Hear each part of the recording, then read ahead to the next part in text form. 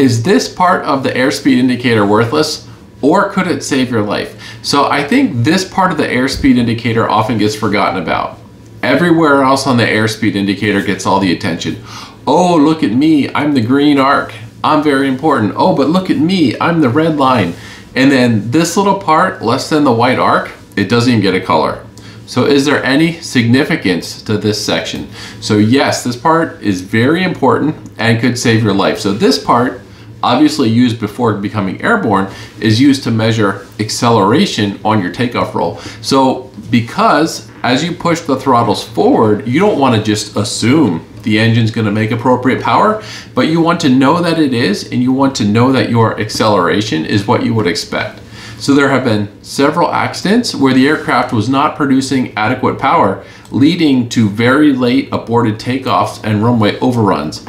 Or maybe it's not even engine related, right? What if, as you be in your takeoff roll, the wind shifts from a crosswind to more of a tailwind? But whatever the case, you need a way to determine and have a checkpoint on your takeoff roll that your acceleration is acceptable for this takeoff.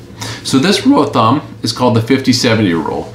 And what exactly does it mean? It means that if you haven't reached 70% of your rotation speed by 50% of the runway length, then you should abort the takeoff. So in our Piper Cherokee, our rotation speed is 55 miles an hour. 70% of that is roughly 40 miles per hour.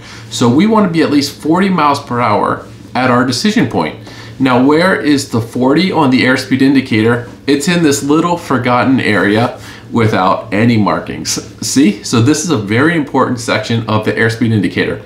Okay, now we got the 70% figured out. So next we need to figure out the 50%. So this is where there's kind of like two schools of thought determining this. So do I need 70% of my speed by 50% of the runway? Or do I need 70% of the speed by 50% of my calculated takeoff ground roll distance? So this rule of thumb actually says to be at you know, 70% of your speed by 50% of the runway. But what if the runway is 5,000 feet long, right? This means that I'm fine that after 2,500 feet of ground roll, I'm at 40 miles an hour and I'm meeting this rule of thumb, right? So it needs to be balanced out a little bit. And then, you know, so the other um, school of thought is to calculate the required ground roll, you know, for your weight, the winds, etc., and then divide that number by two to get your 50%. So then which one do you use? You know, maybe you calculate both and use the most conservative.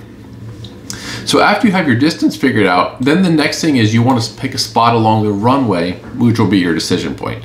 So there probably won't be an exact marker at your precise location, but maybe you can use like, you know, the nearest taxiway, an intersecting runway, or maybe there's some sign along the runway, you know, even if it's not precise, at least you have something. Something's better than nothing. You know, then it's just keeping in mind, you know, as you begin your takeoff roll, right?